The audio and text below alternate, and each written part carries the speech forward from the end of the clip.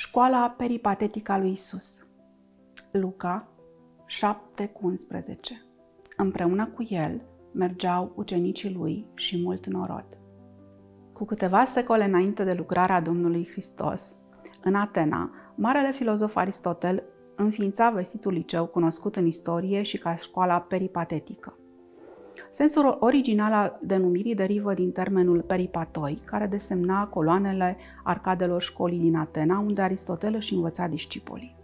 Mai târziu s-a dezvoltat legenda că filozoful își învăța elevii, obișnuind să facă plimbări cu ei folosindu-se un cuvânt asemănător, peripateticos, cu sensul de a merge, a itinera.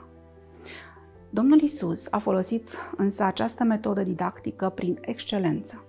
Evangheliile ne descoperă că aceasta a fost modalitatea lui de a învăța pe ucenici și mulțimile. Pe drumurile prăfuite ale Palestinei, pe malurile mării, pe colinele dalurilor și ale munților, prin cetăți și sate, mergând, vorbind, făcând vindecări sau diverse acte mântuitoare, Isus educa în continuu. Școala lui nu avea orar fix. Lecțiile se desfășurau indiferent de oră, loc sau condiții. Orice se întâmpla în prezența lui Isus însemna educație. Educația creștină actuală ar trebui să privească la școala peripatetică a Marelui Învățător. Înțeleasă ca o ucenicie care se experimentează în toate ipostazele vieții, aceasta va aduce rezultate deosebite.